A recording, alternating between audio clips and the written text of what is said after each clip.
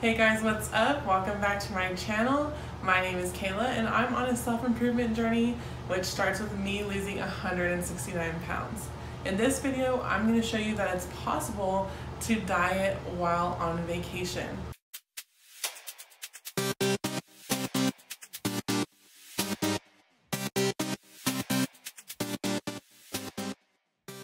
I am going on vacation this weekend and I'm so excited, but going on vacation has made me really think about my diet. Now, I've been doing really good with my paleo diet for about three to four months now, and having this vacation is kind of intimidating because I'm worried about sticking with my diet. On vacation, it's so easy to get derailed completely.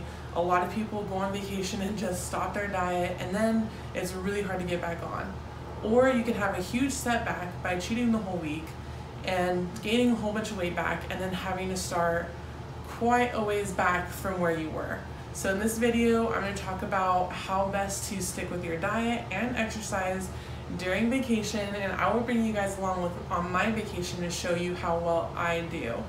So let's get into it. I'm leaving on Saturday. Today is Thursday. So one of the most important things to do if you're gonna go on a vacation is to plan ahead.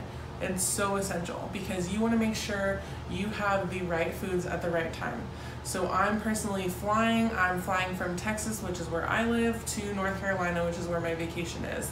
And I'm going to visit my family. A lot of my family is meeting there, but my dad actually lives there. So I will be staying in his house and have a kitchen. So that's great. So number one thing that's important to do is let everybody know that you're going on vacation with that you are on a diet. Let them know what the diet is. Let them know what your restrictions are.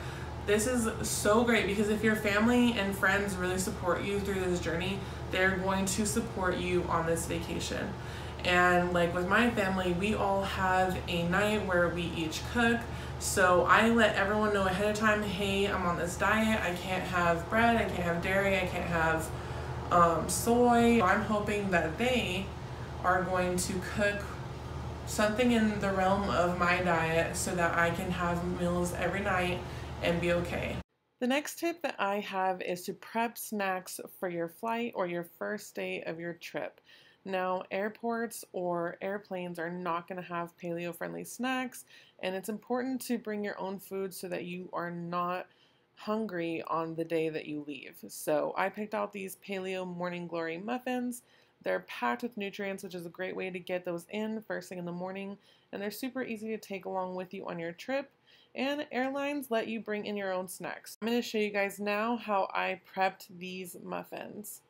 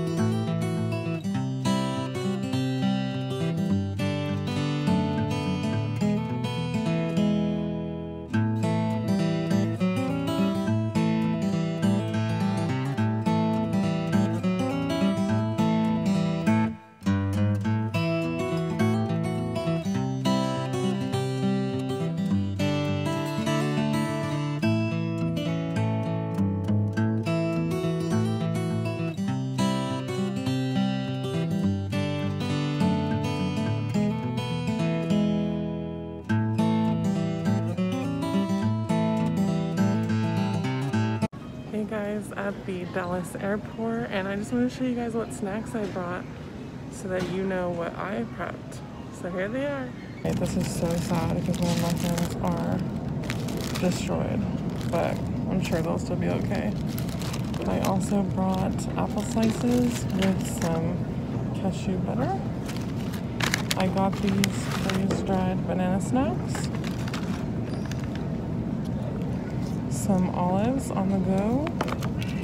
And finally, some Chomps beef sticks. These are perfect because they're paleo friendly. So I actually think I probably brought too much, but it's better to over prepare and have leftovers than be hungry. All right, I'll see you guys when I get to North Carolina. Hey guys, finally made to North Carolina, here having a beer with my dad. So, the next tip is to plan your cheat days strategically. Normally I do mine Friday night and Saturday, but since I'm on vacation, I'm doing mine today and tomorrow. So, see you guys later. My next tip is to check out cool places to exercise when you're on vacation. This place looks so cool. It is along a river and I'm super excited to check it out.